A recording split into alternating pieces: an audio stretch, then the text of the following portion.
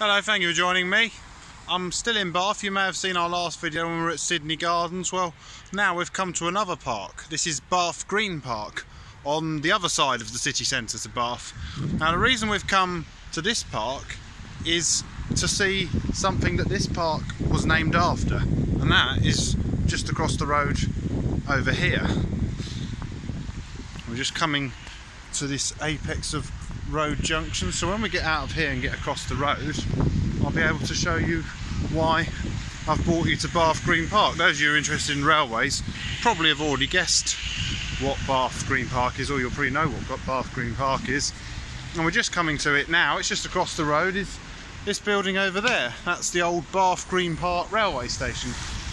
So what we're going to do as soon as we get across the road we're going to go inside and have a look. So across the road so just bear with me a moment while we wait to cross the road. I'm just going to cross in these people. So we are now coming to Bath Green Park station. When I get across this bit of road, you can just see the, the train shed of the station building over there. So while I wait, I might as well tell you a bit. Oh, where are we going? Yep, we can go. Right, so Bath Green Park. This was the Midland Railways terminus in Bath. Bath is known for having the Great Western Railway, which Brunel built, taking it through Sydney Gardens over to Bath Spa. Well, the Midland Railway, 30 years after the Great Western Railway in 1870, they opened their terminus just here. But the terminus is better known for being the terminus of the Somerset and Dorset Joint Railway, which actually came four years later. So it was originally not intended to be the Somerset and Dorset's terminus, but when they opened in 1874, their extension to Bath, they joined up with the Midland Railway and this became their railway station. So what we're going to do, we're going to get out the noise of all the traffic, we're going to go in and have a look around. So I think this part here is a restaurant, but if we go in the side, this entrance here, it's interesting, I can just see up there, and just see up there, there's a red plaque. That's a Transport Trust plaque, so we can have a look at that. So it says Bath Green Park, the Midland Station, and it just says how the Somerset and Dorset Joint Railway was opened here. So I think what we're walking through now, whether this is the old ticket office, I'm not sure. But what we're coming into is where the platforms would have been. So as we come through here, here we are in the old railway station. It's now a busy market.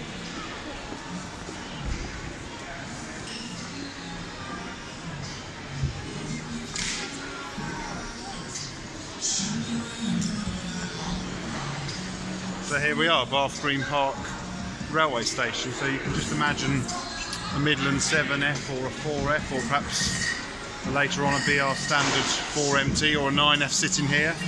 The trains would have gone to Bristol, that was the original Midland Railway, the Avon Valley route, part of which is preserved as the Avon Valley Railway.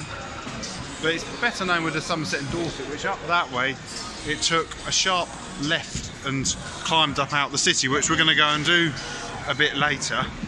So I was going to walk round here.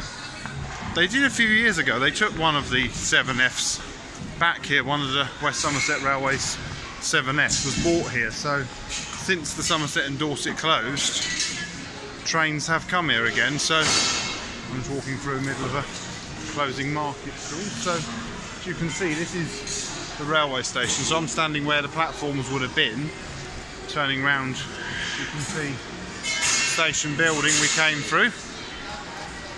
So it closed in 1966 to passengers, although it did linger on for goods traffic until 1971. As we come out of here,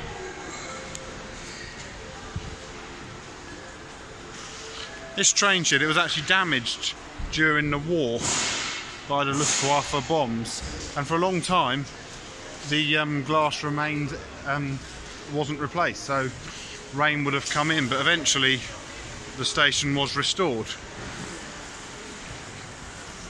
And now, as you can see, this end's a car park and that end is a market. So as we come out here to where a Sainsbury's now is, we're walking along the track bed of the old Somerset and Dorset Joint Railway.